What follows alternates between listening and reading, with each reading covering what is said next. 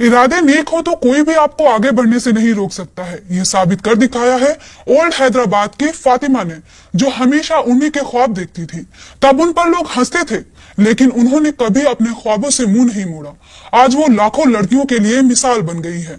आखिर कैसे? बताएँगे इस वीडियो में। सैयदा सेल्वा फातिमा ओल्ड हैदराबाद की रहने वाली हैं, जो एक बेकरी मुलाजिम की बेटी हैं, लेकिन उन्होंने अपना मुस्तकबिल अपने हालात के सहारे नहीं छोड़ा गरीबी की दीवार को अपने ख्वाबों के आगे नहीं आने दिया अपनी हिम्मत लगन और हौसले से आज वो ओल्ड हैदराबाद की पहली कमर्शियल पायलट बन गई हैं।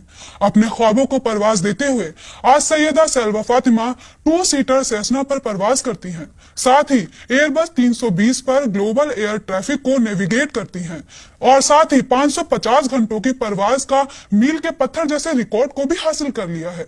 अब फातिमा भी मुल्क की उन मुस्लिम खातन की फहरिस्त में शामिल हो गई है, जिनके पास कमर्शियल पायलट लाइसेंस है। उनकी इस कामयाबी से उनका परिवार और वो बेहद खुश हैं।